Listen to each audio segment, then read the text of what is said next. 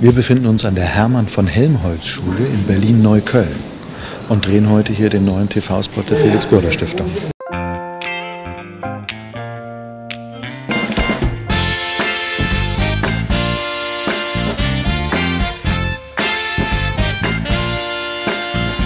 Es hat viel Spaß gemacht, war aber auch anstrengend. Mir hat es richtig gefallen und mir hat es auch Spaß gemacht.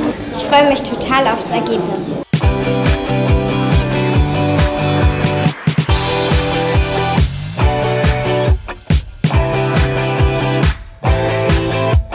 Mit Kindern finde ich immer ganz toll zu drehen, äh, weil sie ganz offen sind, sie sind so ein bisschen naiv, die sind bereit mitzumachen. Ich habe die heute den ganzen Tag beobachtet.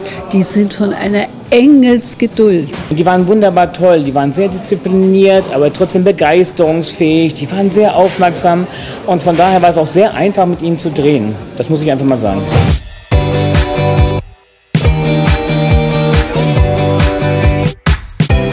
Meisten wissen, dass es Darmkrebsvorsorge gibt. Die kennen die Untersuchungsmöglichkeiten.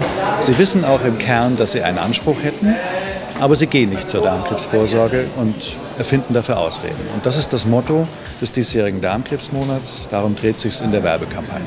Wir wissen aus ganz vielen Untersuchungen, also Studien, dass die Menschen sich dauernd Ausreden erfinden, weil es ist ja keine Untersuchung, wo man so wirklich mit großer Lust freiwillig hingeht. Und dann ist natürlich jede Ausrede gut und man hat keine Zeit, man hat schon wieder ein Jahr, zwei Jahre, drei Jahre aufgeschoben und plötzlich hat man einen Krebs. Deswegen sagen wir, beerdige lieber deine Ausreden, bevor dich irgendwann der Darmkrebs beerdigt.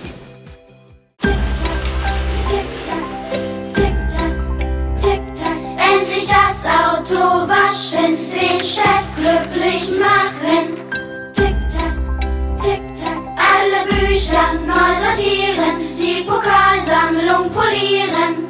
Tick-Tack, für jeden Scheiß hast du Zeit gehabt. Dafür hat dich jetzt der Krebs umgebracht. Tick-Tack, Tod.